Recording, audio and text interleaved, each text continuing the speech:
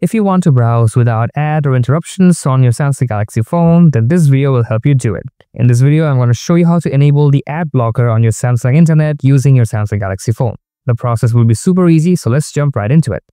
First of all, let's find out our Samsung internet app and after this, open it up. Once our internet browser is opened up, you'll see this three-dot icon or the three-line icon in the bottom right corner. Tap on it and here you'll find the ad blockers option.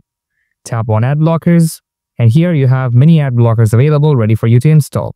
Just tap on the installation icon right next to it and follow the process to install the ad blocker.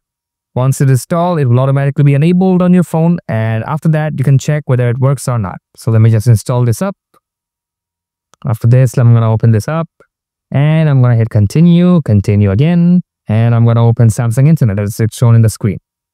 Now you will find this toggle option over here. If you just toggle the feature to the on position, your ad blocker will be enabled and after this no matter which website you go into it will also protect you from any kinds of ads. No matter what pop-up they show up they will not be able to come to you because they will be automatically blocked by your samsung galaxy ad blocker. And that's basically it. That's how you enable and install the ad blocker of your samsung internet browser.